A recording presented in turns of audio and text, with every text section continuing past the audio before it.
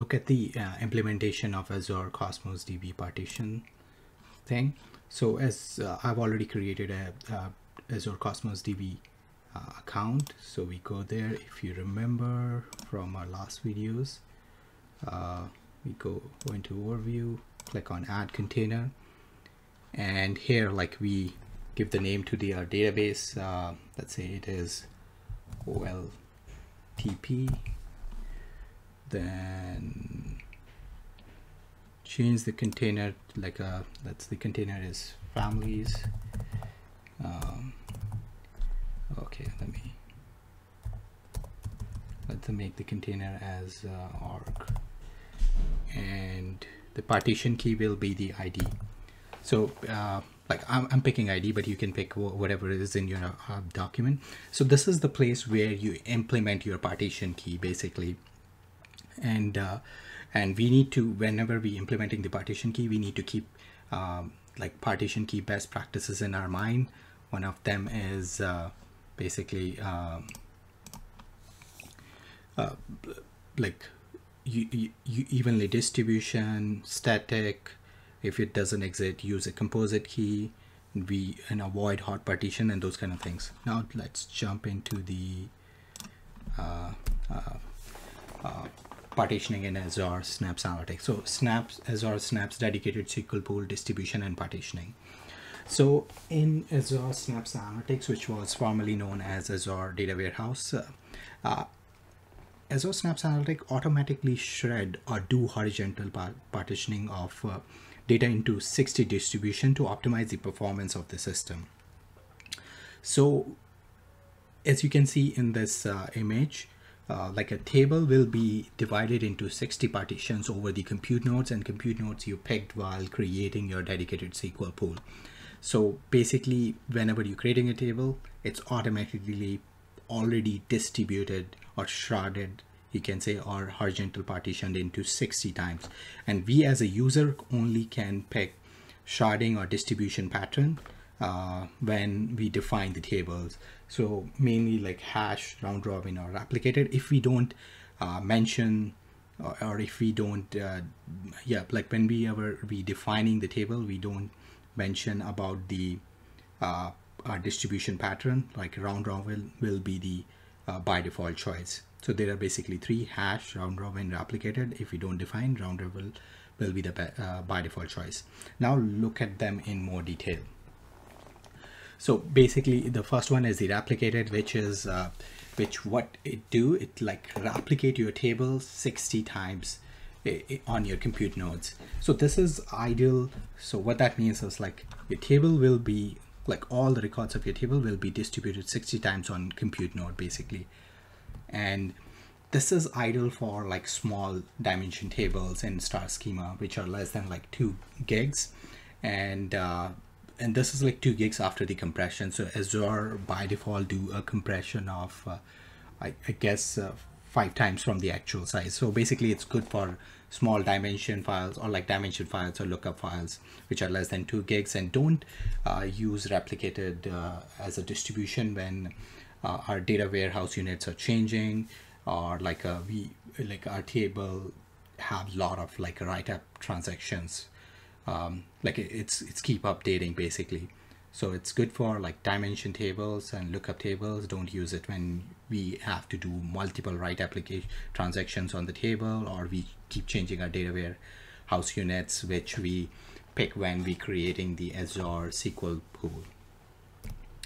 Uh, round robin which I mentioned it's like it's a by default. It is ideal for staging tables and uh, inside uh, like when we can't find a, a, joining key or we can't uh, and this is also like an ideal like let's say uh, if we can't find a single p key to distribute which is like a requirement from hash uh, we won't be uh, then in that case use the round robin. But the problem with round robin because like it has to suffer a lot of the data so performance could be slow. So if uh, your um, data is like need a lot of um, like a complex queries or something, don't use it. Or like if they're large in size. Hash is the uh, last distribution, which is basically uh, ideal for the large fact tables or like historical like basically large size tables are the good candidates for it uh, but if uh, table don't have columns which uh, can be used as distribution please don't use it and distribution key should not be cannot be updated. So if you pick a key which keep updating like don't use as a distribution key and any column which is like nullable is not a is not a good um, uh, good option for distribution. And the similar with the like um, a column uh, that has a default value is not also a good option because then it will will like uh, put a lot of records in those uh, nullable and the hash ones. Uh, sorry nullable and the, the with the default values. So basically like the best practice is uh, pretty similar to the uh, partitioning in Azure Cosmos DB is like the first thing is it need to be evenly distributed like it distribute uh, the data uh, evenly second it's like static like it does not change that often. And the last thing which is different is like we need it any hash key will be um, any hash key which have more than 60 values will be a good hash key. Uh, so implementation is very straightforward. As I mentioned we can um, we can define the distribution at the time of our uh, DDL or like when we defining the table. So here you can sorry here you can see that like we just creating a table name fact internet sales. These are the columns type not null. And in the end just you need to add width. This is our uh, compression. So we're going to talk about that later. Don't worry about it. But like distribution is basically distribution equal to hash product key. So in case of uh, replicated you just need to do distribution equal to replicated in case of round robin you don't have to do anything it will be by default. So it's very straightforward and uh, this is the implementation. We're not going to demo it because uh, um, we can't see those 60 distributions but uh, this is like that's like a behind the scene kind of things which we can't see it. So but uh, for understanding like how it works and how we can do it. Now you will be wondering like if Azure dedicated SQL pool do the distribution automatically or like you can say sharding automatically. Uh, do we need partitioning or not? Or uh, is, is like that's done.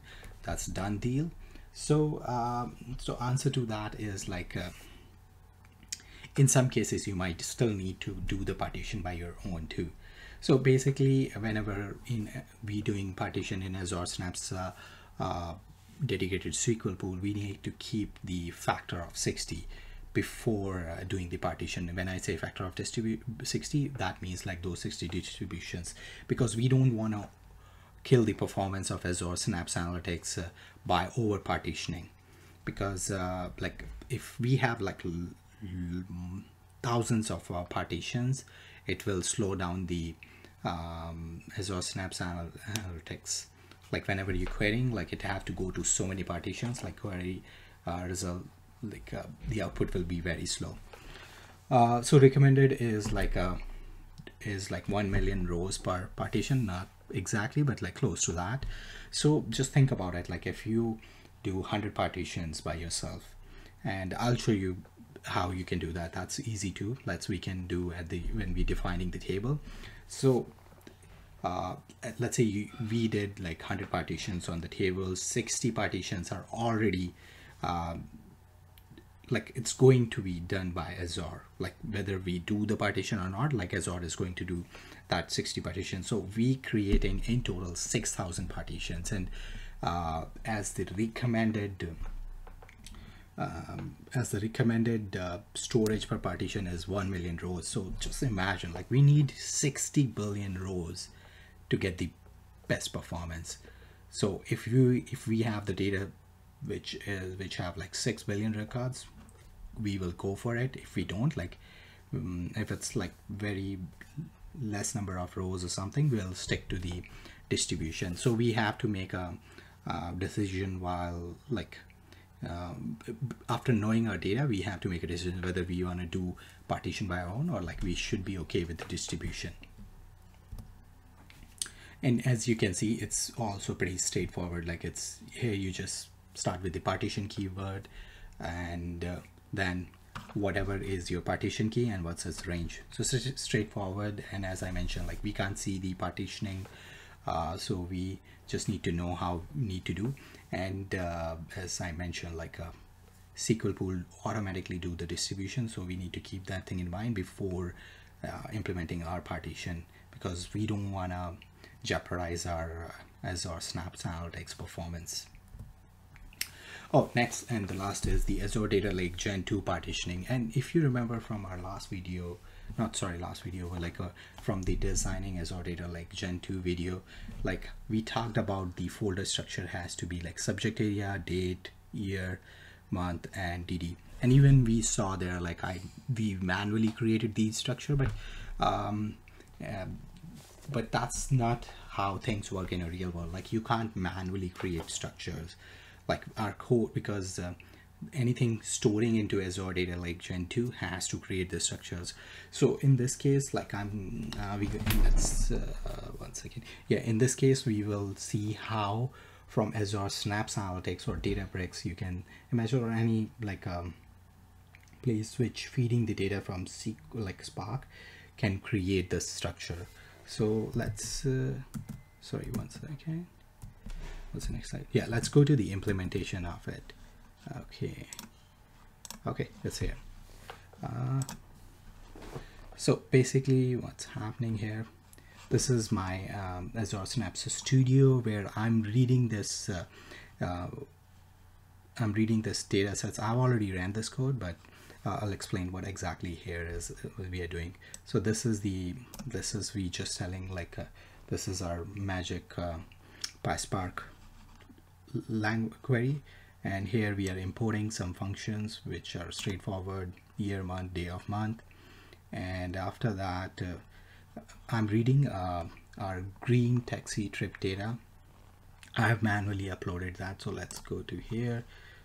Take it so I've created like two the raw and clean folders I've created manually but after that in raw I uploaded this uh, CSV file. That is the green taxi trip data which uh, is like open data sets from New York available. And after that in clean I didn't do anything. Like this everything is done by the by our code. So basically what we're doing here like if you look in the first line we are importing year and month. Then after that uh, we reading this data one second let me do this. Yeah. So we're reading this uh, csv file from this location into this data frame displaying 10 records uh, which are presented here too. And after that we like simply creating new column year month date. And there was a, like a field uh, available like you can see it like I picked this field randomly. I don't know what exactly it is but I picked it to just show like okay how we can create sorry. Oh, my bad. one second. How we can create a folder structure like this automatically instead of doing manually. So let's go here. So I just created three new columns here month date and then I fetches the year from here month date and then I simply write it back by partition uh, with the override mode into this this into the clean folder. So this is my location this is my mode and these are the um, these are the fields by these are the fields by which I did the partition and this is what we wanted uh, if you look at here this is what we want year month date and if we go and look into our uh, so so you can see year then you can go month and day I know like this looked like one day of data because uh, I just took a sample. But the idea is like that program is creating. And here you can see we have two months and you go in here oh see boom this is like multiple folders or multiple days and you go there this is our parquet file. So this is how you do the partitioning in um, Azure uh, data lake gen 2 and if you stay here this is the Azure data lake gen 2 I'm using for which is mapped along with Azure Synapse Analytics. So uh, that's all for this video. Thanks again, be safe and stay tuned for the next videos.